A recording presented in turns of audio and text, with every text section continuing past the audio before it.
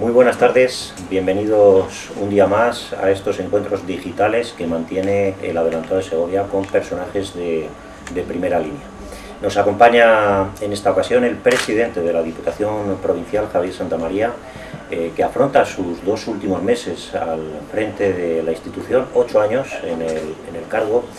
Eh, no repetirá, como ya hemos eh, publicado en varias ocasiones en este medio, no repetirá como candidato del Partido Popular a la presidencia de la Diputación. Javier Santamaría, buenas tardes y bienvenido ante todo. Muchas gracias.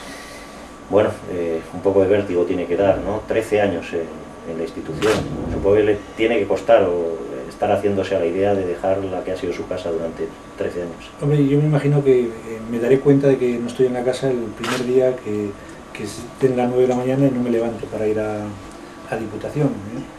Ese día me daré cuenta. La verdad es que ha sido una vivencia muy prolongada, porque aunque la interrumpí durante los siete años que fui delegado territorial, lo que es cierto es que mis compañeros de los cinco primeros años seguían en Diputación, mi presidente entonces Atilano seguía en Diputación y yo he seguido relacionado con Diputación prácticamente durante 20 años. Es decir, creo que ha habido una relación muy profunda y yo particularmente estoy agradecidísimo la experiencia que he sacado en Diputación. Eh, su sucesor en, esa candidatura a la presidencia de la Diputación y presidente provincial del partido, Francisco Vázquez, ha apuntado ya eh, públicamente que su futuro puede pasar por la, por la Cámara Alta, por el Senado, aunque habrá que esperar, salvo que hubiera un adelanto electoral, por lo menos un año. Eh, supongo que en ese año algo tendrá que hacer el presidente. Bueno, pues el presidente, por oposición libre, es catedrático de, de instituto y por tanto, lógicamente, el mismo día que cese la Diputación Provincial me reincorporaría a mi trabajo en el Instituto Giner de los Ríos. Perdón, entonces yo el trabajo lo tengo muy claro. Yo soy funcionario, estaré en el, en el instituto hasta que el partido me llame, si me llama para, para otra responsabilidad. Ocho años al frente de la Diputación, es hora de hacer balance. ¿Se va satisfecho de lo logrado en, en, esta, en estos eh, ocho años? Mire, yo antes de llegar a la Diputación había sido alcalde de pueblo cinco años, alcalde de mi pueblo. Conocía la Diputación desde las dos vertientes, desde dentro y desde fuera. Y si hay algo que yo me he planteado a lo largo de los ocho años ha sido que la Diputación fuese fundamentalmente una prolongación de los ayuntamientos. Yo creo, lo digo de verdad, ¿eh? que no hay ningún alcalde que hoy vaya a la Diputación como iba antaño pensando que iba a un sitio distante, a ver a unas personas eh, lejanas. Yo creo que eso ha cambiado. La Diputación hoy es una prolongación de verdad de cada uno de los municipios. Los alcaldes han ido como, como compañeros, como amigos, como dueños de la Diputación y yo por tanto creo que eso es lo que más me satisface, sin ningún género de dudas, el ver que la gente va con confianza, que nos conocemos todos por nuestro nombre. A mí es más fácil conocerme, pero yo creo que conozco a los 209 alcaldes por su nombre y creo que eso es positivo. Es usted testigo privilegiado de, la provincia. ¿Cómo, ¿Cómo, ve la provincia de Segovia ahora mismo? ¿Cómo la encontró? ¿Está mejor ahora Segovia que hace ocho años? Yo creo que sí, sinceramente. Yo creo que la provincia, todas las cosas están mejor. Es decir, que cuando se piensa que se va peor, yo creo sinceramente que es falso. Eh, cualquier tiempo pasado es mejor porque éramos más jóvenes, no por otra cosa.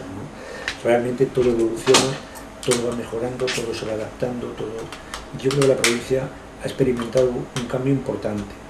Hemos tenido en estos ocho años la inmensa suerte de ver cómo la provincia de Segovia, la capital, se comunicaba por una autopista con Valladolid, por una autopista con Madrid, con la línea de alta velocidad con las dos capitales más cercanas y la comunicación de cualquier tipo, la comunicación de los medios, la comunicación eh, real de, carreteras de ferrocarril, de avión, es el futuro. Y yo creo que Segovia está en una situación idónea para afrontar un futuro positivo y eh, realmente halagüeño. Uno de los grandes proyectos para esta legislatura era el, plan estratégico. Hoy precisamente se celebraba una mesa para redonda sobre el impulso económico y estaban en tris de, decidir eh, o, ver qué espacios podían ser los, los más idóneos para acoger algún, algún polígono industrial. efectivamente, el plan estratégico se ha terminado, tiene una serie de, de caminos de desarrollo se está trabajando yo creo que mucho y bien por parte de los responsables del plan estratégico y lógicamente falta ese empujón económico que requieren alguna de estas infraestructuras. Pero sinceramente, sinceramente creo que el plan estratégico va a ser el mejor programa electoral que pueda tener cualquier eh, candidato a la Diputación eh, Provincial o cualquier administración ligada con Segovia. Se habla mucho de, últimamente de ordenación del territorio y bueno, se ha puesto en la palestra el futuro de las diputaciones provinciales. ¿Qué futuro cree que tienen las diputaciones o qué papel pueden jugar en esa futura ordenación del, ter del Vamos territorio? A ver, las diputaciones tienen más de 150 años de antigüedad y han funcionado. Las diputaciones están reconocidas en nuestra Constitución y se reconocieron porque se consideraban que eran necesarias.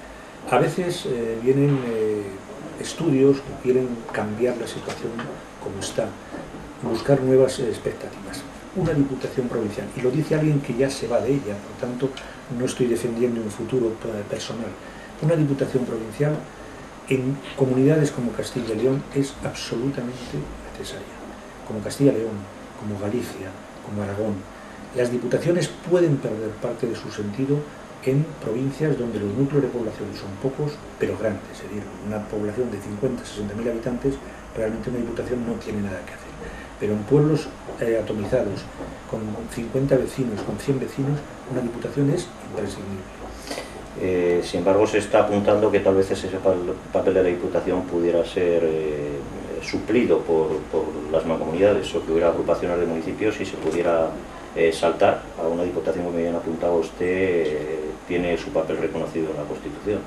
Las mancomunidades han hecho una labor importante. Ahora lo que se quiere hacer con ellas es darles mayores competencias, es decir, que no sean como suelen ser en general, únicamente encargadas del tratamiento de los residuos sólidos urbanos, sino que se les den otras competencias. Y está bien que se les den esas competencias, porque yo siempre soy partidario de que la proximidad es la mejor forma de hacer política, en cualquier aspecto.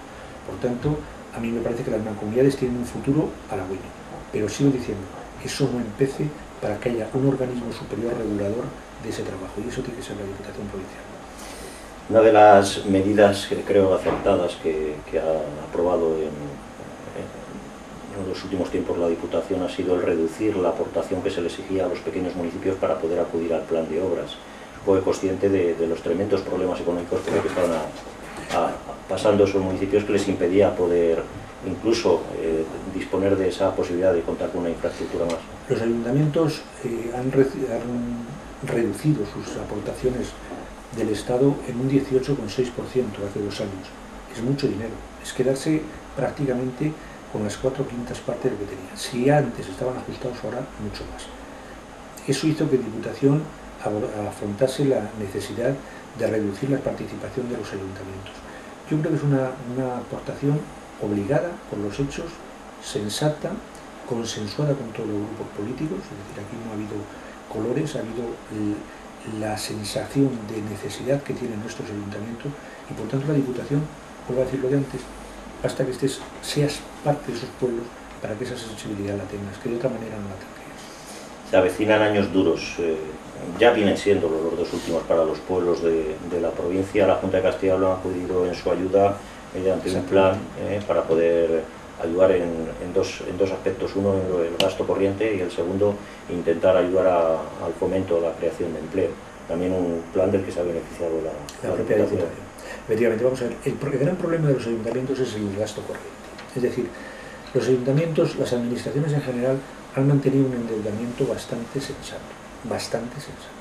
Los ayuntamientos de la provincia de Segovia, puede haber excepciones, puede haber excepciones, pero de los 209 ayuntamientos yo estoy convencido que una inmensa, inmensa mayoría ha obrado con sensatez y ha pedido en crédito aquello que le era absolutamente imprescindible. Por lo tanto, eh, ahí no hay problema. La dificultad está en lo que es el gasto corriente. ¿Por qué? Porque el gasto, corriente no puede recibirse mediante una financiación bancaria. Es decir, nosotros, las administraciones locales, únicamente podemos pedir dinero a los bancos para inversión, pero no para pagar al secretario, no para pagar la luz, no para pagar el alguacil. Eso es lo que los ayuntamientos están teniendo en falta, están echando en falta. De ahí que la Junta, el hecho que haya pasado eh, a multiplicar por 10 la aportación que ha dado los ayuntamientos para gasto corriente haya sido bien recibida por todos, porque realmente la gran dificultad está ahí, no en la, en la ejecución de obras. Es decir, un ayuntamiento tiene que hacer una obra, si tiene dinero, bien, si no, lo pide en crédito. Si el banco no se lo da, puede venir a Diputación que nosotros lo prestamos, pero la obra se hace, ¿qué es lo que interesa? La obra se hace, pero claro, al secretario tiene que pagar con sus recursos. Eh, una de las grandes críticas que se le hace a la Diputación de Segovia es que sus dos grandes buques insignias o sus dos grandes eh, obras, el Teatro Juan Bravo y el Museo Esteban Vicente, eh, están ubicadas en, la capital y no en, alguna localidad de la provincia. Es que la Diputación es de la provincia, es de toda la provincia. Incluida la capital. Incluida la capital. Y los ciudadanos de Segovia también nos votan y mire, la crítica sería la misma si el palacio, si el museo lo tuviésemos en Cantalejo, pues probablemente los de Cuellar dirían que por qué no está allí. Y si estuviese en otro lugar, el relacionamiento sería, sería el mismo. Tienen que, tienen que estar en algún sitio. Yo creo que el Teatro Juan Bravo y el Museo Esteban Vicente luego tienen una actividad que posibilita que la gente de la provincia venga. Nosotros pusimos la venta de entradas en internet para que cualquiera pudiese sacarlas sin necesidad de estar en Segovia Capital, es decir, puede acceder a ellas teniendo en cuenta la, limitación que tenemos de capacidad cualquier vecino de la, provincia.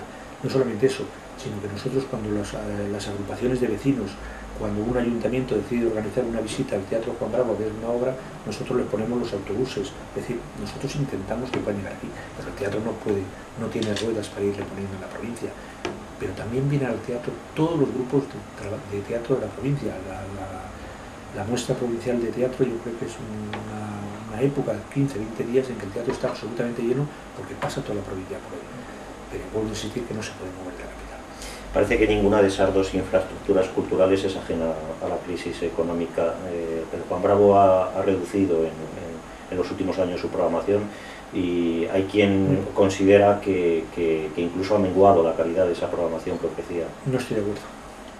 Y el Teatro Juan Bravo ha reducido su programación muy poco, pero también es cierto que los cachés han bajado y por tanto se ha podido llegar a un, ten con ten interesante que ha permitido que yo creo que mantener una programación. El programa de ciclo de clásico y el ciclo de acústicos siguen teniendo el mismo nivel que han tenido otros años, desde mi punto de vista. Desde mi punto de vista.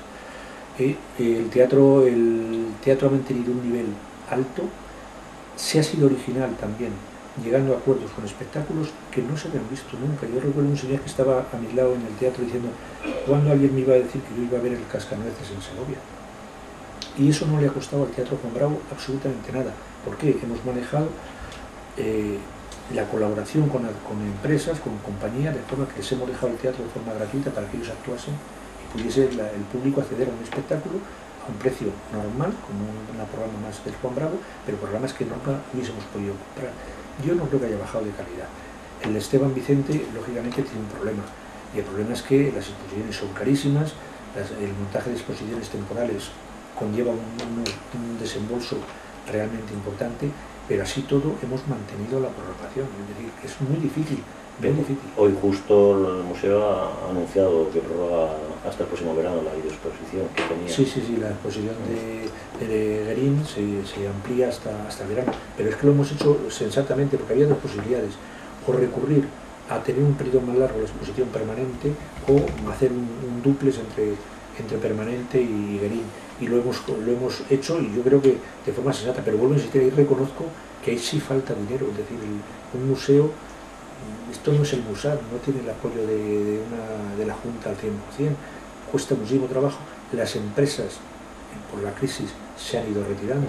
Claro, esto queda prácticamente en manos de la Diputación Provincial de Segovia y de lo que es el State de Esteban Vicente en Nueva York, que colabora, y yo creo que colabora eh, mm, de forma gratificante en esa mm, situación, eh, ¿cómo ve esa futura ampliación del, Museo Esteban Vicente? Pero la ampliación mm, era eh, algo que iba a ejecutar la Junta de Castellón, que ejecutará la Junta de Castilla pero que no conlleva un gasto para nosotros, es decir, todo lo contrario. Si la ampliación se producía, si el número de trabajadores tenía que ampliarse, aunque solo sea por cubrir las dependencias, los nuevos servicios, el compromiso con los eh, representantes americanos del State es que ellos iban a ampliar su participación en el, propio museo de manera que pudiésemos sufragar esos gastos con, honestidad y con un cierto rigor. Desde aquí nadie habla de tirar una peseta, pero sí de intentar hacer todos por nuestra cuenta lo que podamos. Este año la propia Diputación, lo que no ha hecho otros, lo ha hecho este año, ampliar la aportación económica de Esteban Vicente fuera de ya de lo que era presupuesto, porque entendemos que hay que ayudar, pero podemos llegar hasta donde podemos llegar, eso es evidente. Mm. En el tema de servicios sociales han, apostado por reestructurar esos servicios y mm, repartirlos a nivel comarcal. Eh, había precisamente una propuesta del Partido Socialista desde hace tiempo, una reclamación, pidieron también a la Diputación que construyera parques comarcales de bomberos. Eh, no sé cómo está ese asunto porque había un convenio firmado con... Hablo de las dos cosas. Primero, servicios sociales. Servicios sociales ha hecho una reestructuración, se ha más que duplicado el número de trabajadores, se ha acercado a las cuatro cabeceras de zona que, tiene la, hemos creado en la provincia y servicios sociales, yo tengo que decir, de en estos ocho últimos años, que ahora mismo ya no hay ni un solo segoviano que esté esperando ayuda a domicilio. Ni uno. Estamos al 100%. No hay ni un solo segoviano que esté esperando teleasistencia. Todos la tienen. Y los expedientes para dependencia en Segovia se están tramitando con mayor velocidad que en cualquier otra provincia de la comunidad. Es decir, yo los servicios sociales estoy sinceramente muy satisfecho. Y me gratifica el hecho de que hemos hecho un esfuerzo, pero el esfuerzo se ha, visto reflejado. El problema es cuando haces el esfuerzo y aquello no funciona. Primera cosa. Segunda cosa, parque de bomberos. Nosotros hemos tenido varias reuniones con Protección Civil de la Junta de Castilla y León intentando hacer no hablo ya de un planteamiento provincial, sino de un planteamiento autonómico de protección civil para el, tema de bomberos. Cada uno ha dicho lo que tiene, lo que aporta y lo que puede poner en un futuro. Y con eso se ha hecho un mapa regional de protección civil, donde nosotros sabemos que en la provincia de Segovia va a haber tantos parques de bomberos profesionales, tantos parques de bomberos a tiempo parcial o tantos parques de bomberos de voluntarios. Con lo cual, no, recuerdo ahora mismo el número, creo que eran ocho los parques que íbamos a tener a lo largo de la provincia. La idea es que cuando ocurra algo, no sean más de 20 minutos el tiempo de, intervención de, uno de estos parques de bomberos. Eso está hecho. Está estudiado. Había únicamente una disfunción entre lo que la Junta proponía y lo que nosotros proponíamos, que era la zona, nosotros pensamos que el parque de bomberos de Coca es un parque no sé si profesional, pero de luego de primera línea, que por tanto tenía que ser cabecera de, zona y, de influencia. Eso está hecho y ahora lo único que queda es ponerlo en funcionamiento.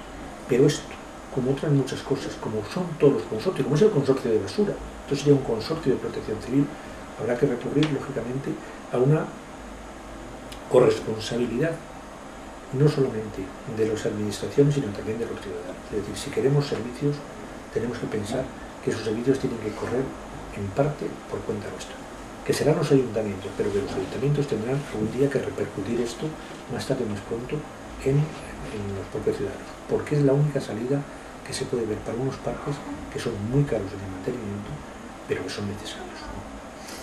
El agua es uno de los graves problemas que tiene esta provincia. Preocupa y mucho en, diversas zonas y son variados también los, problemas que se presentan.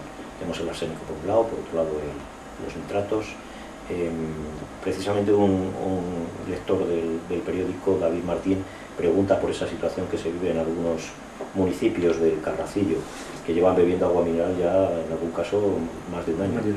Vamos a ver, el problema del agua eh, es un tema geológico.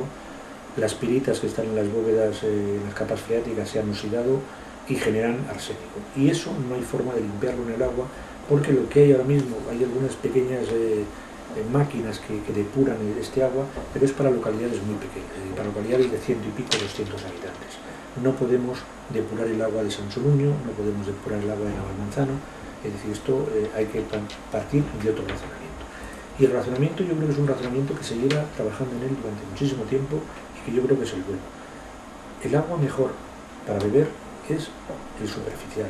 Las aguas superficiales son mucho más eh, eh, garantes de calidad que las aguas subterráneas. Si usted da un repaso a la provincia de Segovia, verá que a lo largo de los últimos años se construyó la presa de Riaza, se ha construido la presa de Sevilla, la presa de Torrecaballeros, el Pontón Alto, se ha recrecido bueno, Puente Alta. Empresas, por ejemplo, como Ceguilla, que hemos construido, pero todavía no está hecha la pero se están construyendo. Las presas del Espinar también se, se arreglaron, se han habilitado. Eso va a dar agua a una cierta parte de la provincia de Segovia sin ningún género de dudas. Se hizo el azul de coca, el lleguillo, que ha abastecido de agua aparte de la provincia de Segovia y aparte de la provincia de Valladolid. Y ahora lo que está construido, creo ya, es la estación potabilizadora de, de Cuella, que tiene que coger agua del CEDA y que va a resolver todo el problema del carratillo, porque va a ir por su propia inercia el agua desde Cuella hasta Navalmanzano, con lo cual solucionaríamos Sancho Niño, solucionaríamos Navalmanzano, Pinarejos, Carbonero de Ausín, sus pueblos que están recibiendo agua embotellada, tendrían el problema resuelto. Ahora se está ya trabajando con las canalizaciones, por tanto, es un tema de tiempo, no de años, es un tema de meses que es lo que tardan en llegar las canalizaciones. Pero desde mi punto de vista, aún falta otra infraestructura que sería una presa en lo que es la zona de Carbonero. Es decir, no hay que olvidar que la zona de Carbonero está sobre, sobre pizarras y ahí al final acabará habiendo problemas. Más tarde o más pronto habrá problemas. Es necesario, desde mi punto de vista, cerrar. Si eso se llegase a hacer por parte de agua, hay un proyecto por parte de Agua del Duero, si eso llega a hacer, yo creo sinceramente que la provincia de Segovia no tiene por qué tener más problemas de agua. Pero vuelvo a insistir, que el problema no surge tanto por la ganadería, lo digo porque no menciona la palabra nitratos, sino por lo que ha sido una sobreexplotación de las capas freáticas eh, subterráneas. Tratándose de un problema tan importante y de un elemento crucial para, la vida de los ciudadanos, eh, ¿por qué no ha habido, no se ha podido sacar del debate político este asunto y, realmente sentarse a, negociar y hablar las distintas instituciones implicadas, que incluso hubo un intento fuera del ámbito político? Que fueron los agentes sociales los que intentaron crear una mesa de agua que al final no, ha terminado de cuajar. Sí, pero han sido dos cosas distintas. El, problema de la mesa del agua, que cuando se habló de... era el agua hablando de, de Segovia Capital. Es decir, no se hablaba de Navalmanzano absolutamente para nada. Ese debate se, se trató en la Diputación. ¿Por qué?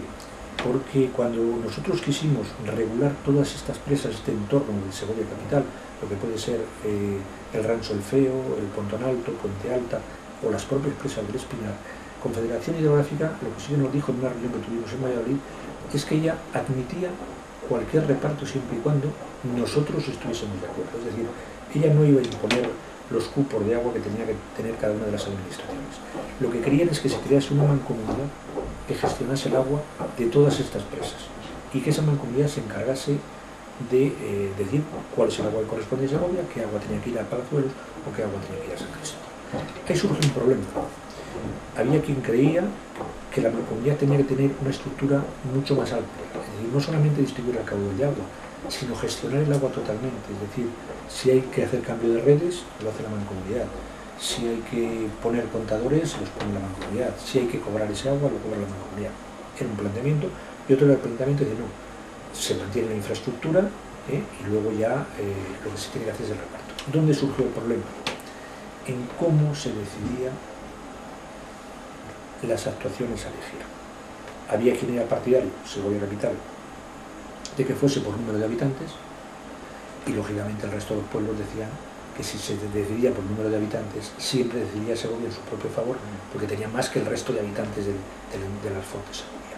Ese fue un debate no de un día ni de dos, ¿eh? yo he estado por lo menos en tres reuniones de esas con, el mismo eh, tema para arriba y abajo, no ahora, no con Pedro Revueltas. Yo estaba en ese debate como delegado territorial, estando José Antonio López de alcalde, es decir, porque el problema lleva varios años ahí. Y algún día yo creo que tiene que llegarse a un justo término. Es decir, el debate, las decisiones se tienen que tomar por un porcentaje de votos, pero también por un porcentaje de ayuntamientos. Y yo creo que ese camino, es el que nosotros hemos planteado para que ellos intenten llegar a un acuerdo, es el bueno. Es decir, no vale solamente que uno decida, uno, pero tiene que estar acompañado de varios, porque si no, eso no, no tiene mucho futuro.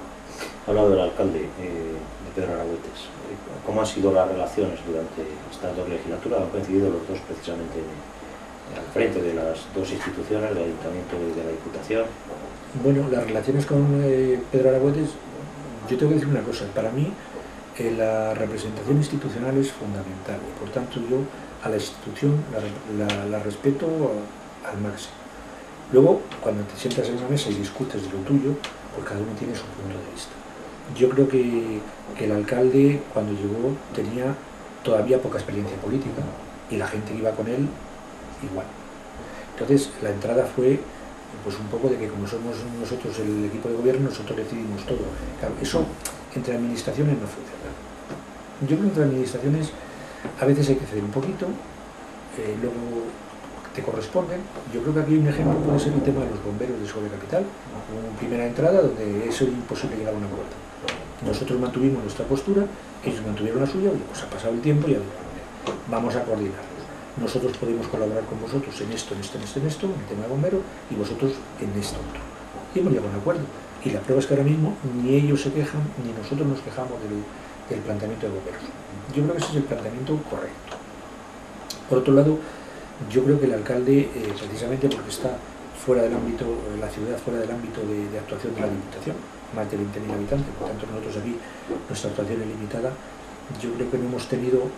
El turismo ha sido otro de los temas. El turismo ha sido otro de los temas donde ellos decidieron, el ayuntamiento decidió tener su centro de recepción, que yo entiendo que está bien, yo no, me, yo no le he criticado nunca el centro de recepción de turismo de, de Segovia, todo lo contrario, me parece que hace una buena labor, me parece que hace una buena labor, y además creo que está en el sitio idóneo, es decir, que cuando alguien llega a Segovia algo se encuentras con ello, y yo también he pedido colaboración, pues porque nosotros también debemos repartir parte de nuestra publicidad de la provincia en el centro. Y lo hemos tenido, hemos tenido nuestra, nuestra mesa, más grande, más pequeña, pero la hemos tenido en el lugar donde hemos estado. Pero es que nosotros, cuando vamos a Berlín, cuando vamos a Londres, cuando vamos a Milán, a las ferias, que sí que vamos, nosotros llevamos publicidad y lo primero que se ve es el alcázar de Segovia por el acueducto. Por tanto, yo creo que ahí debe haber una colaboración institucional que yo creo que siempre es positivo. Yo en ese aspecto lo tengo muy claro. Todo lo que sea enfrentarse es perder los unos el Partido Popular, con usted a la cabeza, lleva ocho años gobernando en la Diputación, más años, eh, con Javier Santamaría como presidente, con Atilano Soto. Eh, cuando un partido lleva tantos años en una institución, ¿no corre el riesgo de acomodarse y bajar el ritmo de trabajo? Yo creo que puede ocurrir ese riesgo y por tanto lo que hay que hacer es cambiar a las personas y por tanto yo ahí me veo reflejado porque yo he dicho siempre que a los ocho años es un tiempo más que aceptable para poder cambiar. A mí me da mucho miedo, y mis colaboradores lo saben, que lo he dicho muchas veces, que igual que yo veo a gente que digo, hombre, parece que este ha un poco el, ritmo, que a mí me pudiese pasar lo mismo. ¿eh? Entonces, el último que se da cuenta de eso es el que, el que lo, está padeciendo. Por tanto, yo creo que se deben cambiar a las personas con, un determinada, con una determinada periodicidad. Y eso yo lo he defendido y, por tanto, me veo reflejado ahí. Vamos para terminar, presidente. Tenemos muchas preguntas de lectores. Eh, queríamos que teníamos más tiempo, se nos escapa. Eh, hay dos que coinciden en el mismo tema. En este caso es Raúl García y Roberto Monjas. Preguntan por el, por el tema, y David García también, perdón, eh, Pilar Valverde, por el tema de las ONGs y la ayuda a la cooperación el tercer mundo de la Diputación, que ahora mismo es nula. Efectivamente. Vamos a ver, nosotros esto, yo entiendo perfectamente el planteamiento de quien quiere hacer esta labor absolutamente altruista de colaborar con otras, con otras eh, situaciones de, carencia. Pero yo siempre recuerdo una cosa, no hay ninguna diputación, ninguna, en Castilla y León que tenga la carga de servicios sociales que tiene la Diputación de Segovia. La Diputación de Segovia tiene dos residencias de ancianos, tiene un sanatorio psiquiátrico, tiene un sanatorio para esquizofrénicos profundos y tiene una casa común, cinco. Si yo hiciese lo que se ha hecho en Soria, que ha sido cerrar una residencia de la Diputación, yo automáticamente tengo dinero de sobra para cualquier tipo de actividad de ONGs, sinceramente. Pero es que yo no puedo cerrar. Yo no puedo cerrar residencia. yo entiendo que se pida, entiendo que si en algún momento existe un respiro económico, se pueda, se pueda dar algo para, para esto, estas finalidades. De hecho, cuando ha habido alguna, alguna situación de catástrofe, la Diputación ha habilitado siempre alguna partida para ayudar directamente mediante una ONG, sea Cruz Roja, sea Cáritas, sea Manos Unidas, nosotros hemos colaborado con, ellas cuando ha habido una situación de, emergencia. Pero para hacerlo regularmente, por no existir, yo no me encuentro moralmente capacitado para cerrar una residencia en eh, David García pregunta por una movilización que ha habido este fin de semana en Ventosilla de Tejadilla, por una, por una cantera apunta que, el alcalde incluso reconoce que, hay una sobreexplotación en varias canteras. Pregunta cuál es la opinión. Vamos a ver, el, medio natural es uno de los valores que tiene la provincia de Segovia. Tenemos más del 50% del territorio con una protección medioambiental y yo creo que es una de las riquezas del futuro. El turismo va cambiando de forma de ser y por hoy las casas rurales tenemos más de 360 casas rurales en la provincia de Segovia. Eso quiere decirse que la gente le gusta venir aquí, que tiene sitio bonito donde estar. Por tanto, todo lo que sea proteger el medio natural, yo creo que, hay que defenderlo.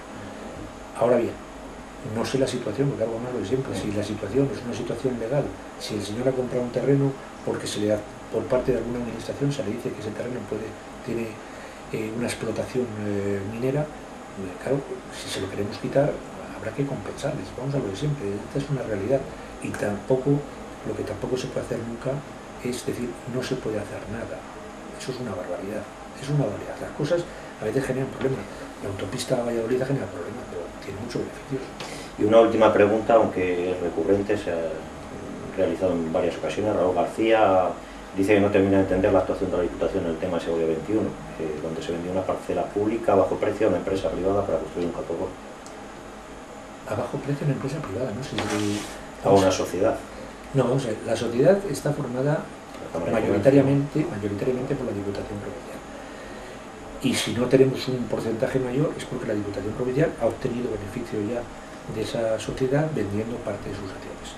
Más de mil millones de las antiguas pesetas se han invertido ya en pueblos de la provincia como consecuencia de, venta real. Por tanto, eso no se ha hecho a su Por otro lado, lo que se hace cuando se hace una aportación terrenos o lo que sea, no se hace una aportación caprichosa, se hace una aportación que va con dos tasadores, ¿eh? dos tasadores estatales del Banco de España que cifran el precio en el cual tiene que tasarse ese bien que tú aportas. Tú tienes algo, lo das, lógicamente tu, eh, participación en la sociedad aumenta o la sociedad te compensa económicamente. Por tanto, ahí no ha habido un regalo del terreno del campo de bola a una sociedad, muchísimo menos, sino que ha habido ha sido una aportación a esa sociedad, como la puede hacer perfectamente Caja Segovia, si yo pongo ahí 100 millones de euros, pues usted, si usted pone ese dinero, usted subirá su, su participación en la sociedad. Nosotros hemos puesto el campo de gol, el terreno del campo de gol, y eso ha, aumentado nuestra participación. Y pero vuelvo a insistir en una cosa, también ese terreno en las propias normas de Palazuelos es un terreno no edificable, es un terreno para actividad deportiva, es decir, que no se puede hacer otra cosa, se puede hacer un, campo de tiro al plato, entonces hay que elegir por dónde tirar. Y el gol, que tiene sus detractores y tiene sus defensores, que yo no practico, por tanto no estoy enganchado al gol, no, tengo nada que ver con, ese deporte, y trae gente, trae gente, genera mucha riqueza y genera mucho movimiento. Y hay que, no hay que olvidar que Segovia era la única capital que no tenía un campo, la única provincia que tenía un campo de gol en condiciones. hay que dar un paso adelante, pero claro, vamos a ver antes haces eso y enseguida te dicen que si se gasta mucho agua, aunque el agua sea agua residual de la granja, que depuras, pues bueno, siempre estamos en esa lucha y a eso tenemos que estar acostumbrados. Pero yo creo que las cosas no se deben parar. Presidente, no hay tiempo para más. Un placer eh, haberle tenido aquí. Eh, que disfrute usted de esos 60 días. Supongo que será un poco, después de 8 años, el poderse despedir de mucha gente con la que ha colaborado, con muchos pueblos a los que ha tenido que pues, visitar. Siempre, yo el despido decir adiós a los pueblos eh, tendré muchas ocasiones porque voy a seguir estando con ellos. Y el, descanso que le voy a tener. Yo, eso también es verdad. O sea, los que han estado conmigo lo saben que yo desde que entré en política hace 20 años ya, 20 años, en el 91, no he tenido nunca más de 15 días de vacaciones. Yo realmente julio y agosto como docente pues me van a aparecer un mundo de vacaciones. Yo por lo menos no sé exactamente cómo lo distribuiré, pero espero distribuirlo bien. El futuro irá si su paso a vuelta a la educación es por breve espacio de tiempo o, pues por lo que decida el partido en primer, en primer lugar y el señor Rodríguez Zapatero en segundo. Pues muchas gracias por su presencia, eh, les agradecemos una vez más eh, su atención en esta entrevista digital, este encuentro. Les recordamos que volveremos la próxima semana. En principio tenemos preparados dos entrevistas. El miércoles con el rector del IE University, eh, Juan Luis Martínez, y el viernes muy posiblemente con el director de Titirimundi, Julio Michel. Muchas gracias y muy buenas tardes.